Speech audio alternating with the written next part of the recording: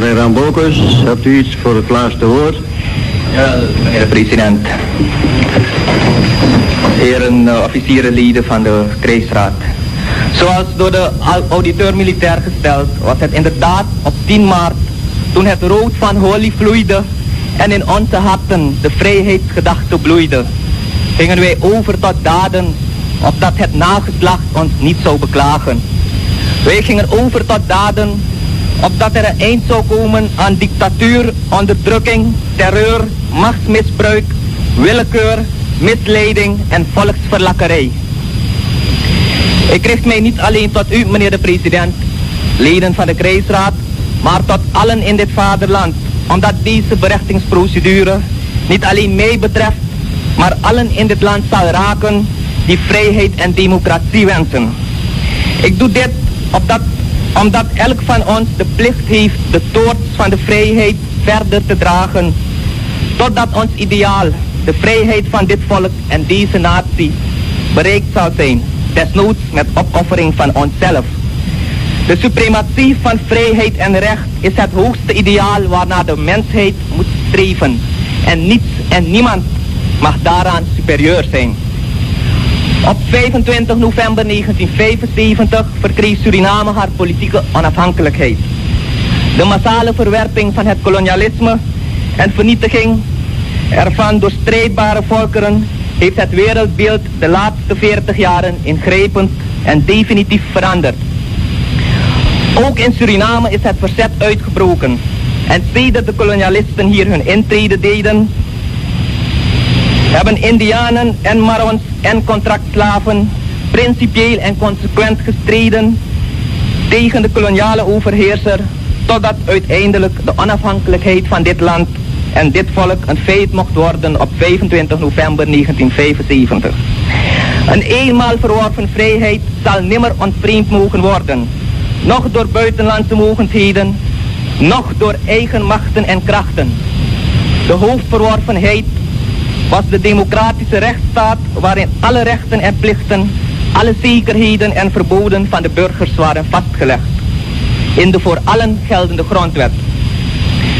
Uit de recente geschiedenis is ons allen bekend hoe deze vorm van parlementaire democratie heeft gefunctioneerd. Waarbij wij een misverstand uit de wereld willen helpen dat niet de systemen aan zich onjuist zijn geweest, doch de mensen die er inhoud aan moesten geven. Indien de democratie door welke reden dan ook niet goed functioneert, dan moeten correcties aangebracht worden. Maar voor het voortbestaan van de natie moet het democratisch instituut heilig gehouden worden.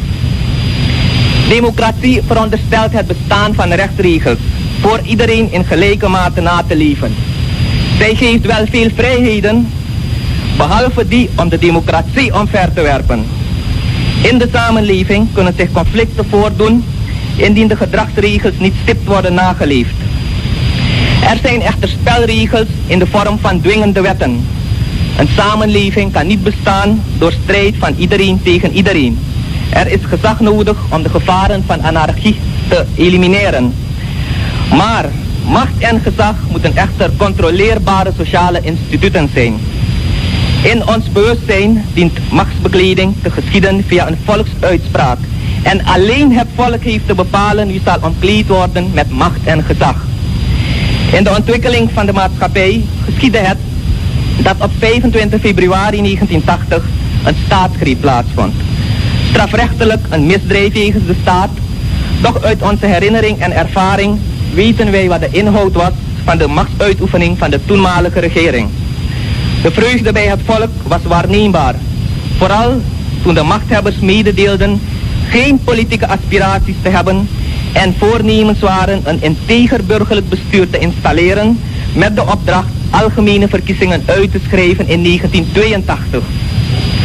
Naarmate de tijd verstreek is de ware bedoeling gebleken van de machthebbers, namelijk het continueren van macht en het bepalen van een beleid waarvoor nooit en op geen wijze goedkeuring van het volk is gevraagd. En het uitschakelen van integere en oprechte landgenoten die werden bestempeld als contra-revolutionair en destabilisator. De staat, meneer de president, geachte leden, moet de geweldsmiddelen waarover zij beschikt aanwenden om het volk te beschermen. En die mogen nooit tegen dit volk gebruikt worden. Geweld van de staat roept tegen geweld op bij de burgerij.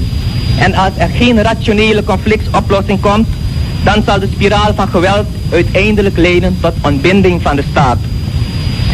Na een rechteloze situatie gedurende meer dan twee jaren, waarbij de macht op dubieuze wijze werd gehanteerd, is omstreeks maart 1982 een overgangsgrondwet van kracht geworden. In deze overgangsgrondwet zijn bepalingen opgenomen, onder andere de noodtoestandsregel, die in feite deze grondwet van geen waarde verklaren. En zoals later bleek, is ook gepoogd de autoriteit en de onafhankelijkheid van de tot dan ontziene rechterlijke macht aan te tasten en te brengen binnen de invloedssfeer van macht en kracht. In feite is de situatie, politiek, sociaal, economisch en psychologisch, dusdanig onzeker en verslechterd dat Suriname zich thans beweegt op een doodlopende weg. Wij hebben thans de zuivere vorm van machtsdictatuur.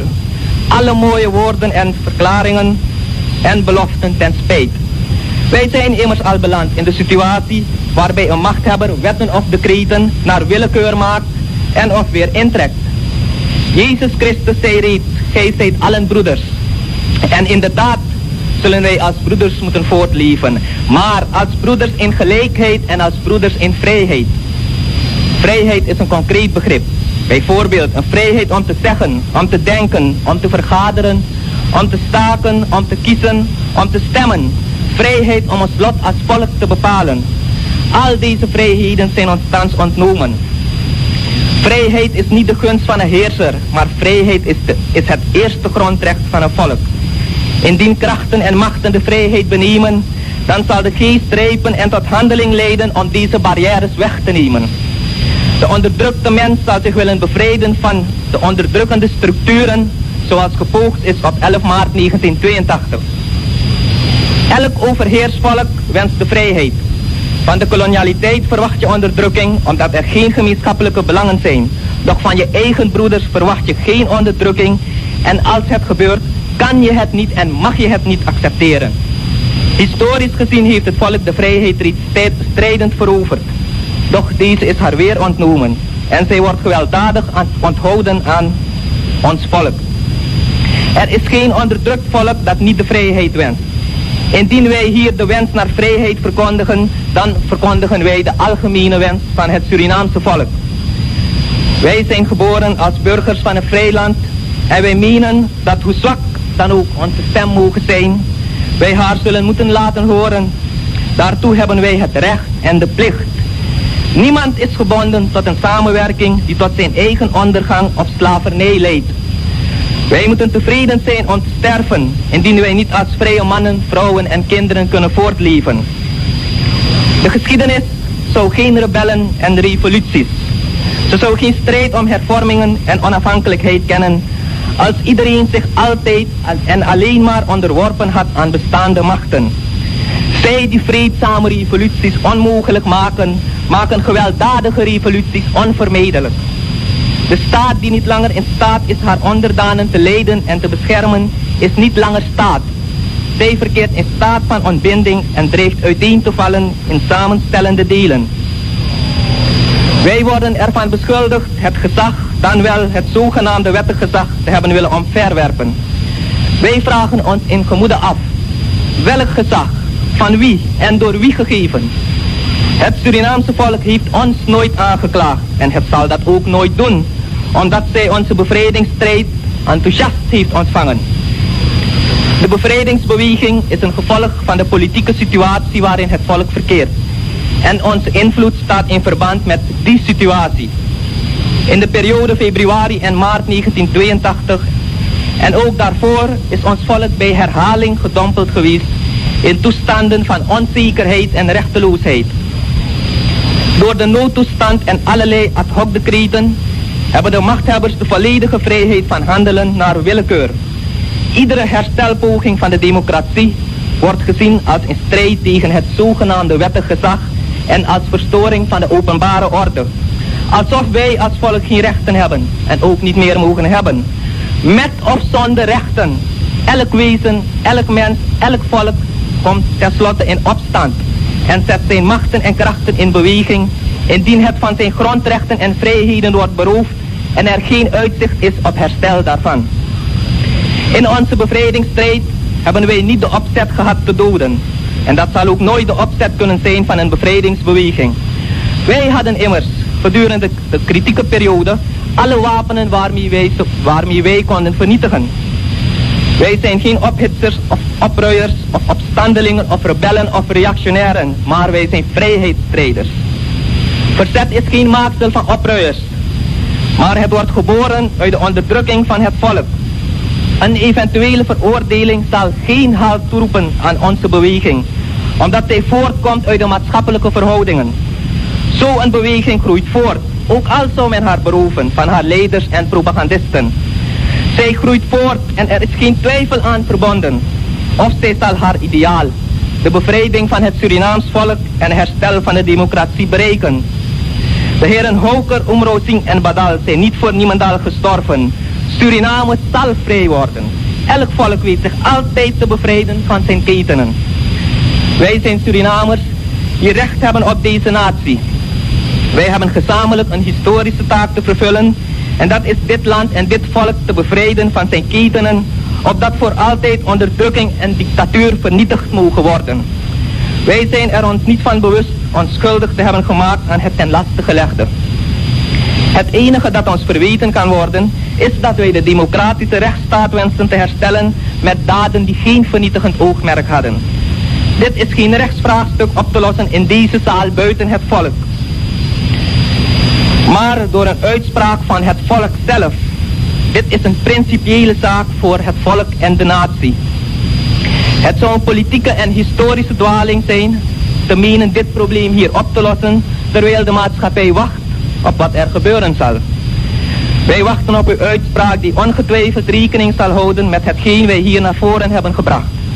Wij verwachten en hopen derhalve dat uw uitspraak zal zijn vrijspraak mede gebaseerd op artikel 133 lid 5 van het wetboek van strafrecht, luidende, niet strafbaar is hij, van wie blijkt dat zijn oogmerk enkel gericht is op het voorbereiden of bevorderen van staatkundige veranderingen in algemene zin. Nogmaals, wij staan niet voor u terecht als personen of als rebellen of als anarchisten. Wij staan hier terecht als delen van ons kreunend volk. Onze stem die wij hier laten horen, blijft niet slechts binnen deze muren.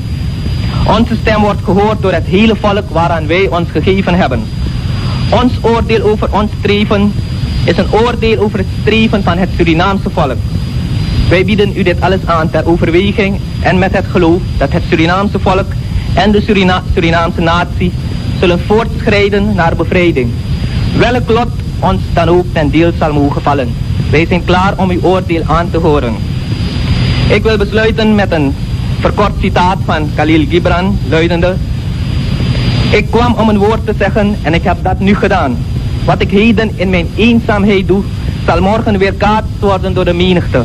Wat ik heden zeg met één hart, zal morgen gezegd worden door duizend harten. Het tijdelijke en het vergankelijke oordeel laten wij over aan u. Het historisch oordeel laten wij over aan de geschiedenis. Het eindoordeel laten wij over aan God. Dank u wel, meneer de president, leden van de krijgsraad.